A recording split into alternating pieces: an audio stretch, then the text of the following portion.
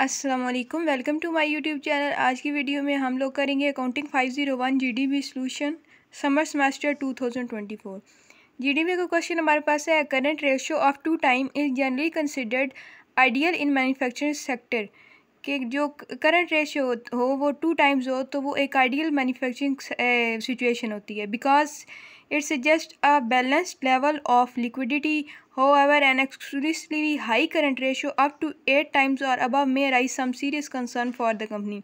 अगर two time हो ratio तो वो तो एक आइडियल सिचुएशन होती है। लेकिन अगर अप टू एट हो या एट से अबव हो तो वो एक सीरियस कंसर्न कंपनी के लिए होता है। तो आपने क्या करना है? Discuss any two valid concern for a company having exclusively high current ratio क्या आपने टू वैलिड कंसर्न डिस्कस करने हैं? हाई हाई करंट रेशो के लिए। तो आंसर हमारे पास है in the contents of manufacturing company having an exclusively high current ratio like 8 uh, times or can indicated several concern here are two valid concern. Inefficient use of assets मतलब सरमाए का गैर ज़रूरी इस्तेमाल या जिस जगह इस्तेमाल नहीं करना, उस जगह अगर आप इस्तेमाल करें तो।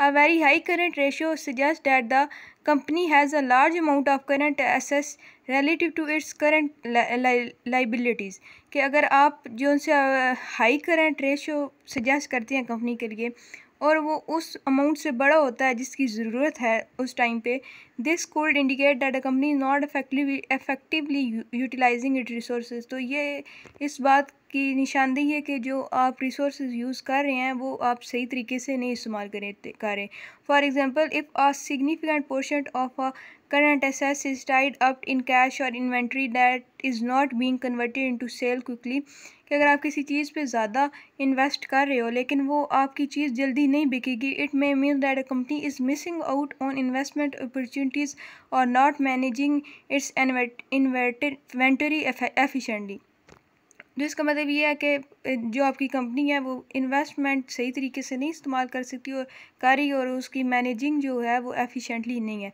This inefficiency can lead to lower return on investment overall reduce profitability कि ये एक, ये इन एफिशिएंसी है, ये लीड करेगी लोअर रिटर्न मतलब जब आपको बदले में कम मिलेगा इन्वेस्टमेंट और ये आपकी जो प्रॉफिट होगा, उसको भी रिड्यूस करेगी। Second bypass a potential for financial distress.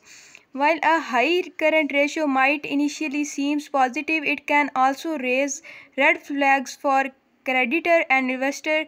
They may interrupt a ratio current ratio of 8 times as a sign that the company is not facing immediate liquidity issues, but it could also mean that the company is overly overly conservative in its financial management. If the company is Hoarding cash instead of investing it back into growth opportunities might struggle to compete effectively in the market. Furthermore, if the country, company fails to generate sufficient revenue from its current assets, it could eventually lead to financial distress. कि आपका जो financial मतलब आपको जो income आ रही है उसमें अगर डिस्ट्रेस हो तो वो क्यों होता है कि जब हाई करंट रेशियो होती है तो उसमें एक पॉजिटिव फीडबैक आता है, लेकिन क्रेडिट के लिए भी और इन्वेस्टर के लिए भी। लेकिन जब ये इंटरप्ट होती है, जब कंपनी टू टाइम से ज़्यादा मतलब एट टाइम से ये उससे ऊपर चली जाती है तो वो इमीडिएट लिबिलिटी इशू उसको फेस करना पड़ता है। तो इसके लिए यही है कि आप इन्वेस्ट करें तो उसके आपको बैक भी मिले और जब आप इन्वेस्ट करें तो आपके लिए अपॉर्चुनिटीज़ ग्रोथ हों। दोनों थे ये। In conclusion while current ratio of around two is generally considered healthy and excessively high ratio can indicate inefficiencies in assess management and potential issues financial strategies which could ultimately impact the company's long term success तो ये आपका solution था। उम्मीद आपको video अच्छी लगी होगी। अगर वीडियो अच्छी लगी है तो मेरे चैनल को सब्सक्राइब करें। अल्लाह हाफिज़।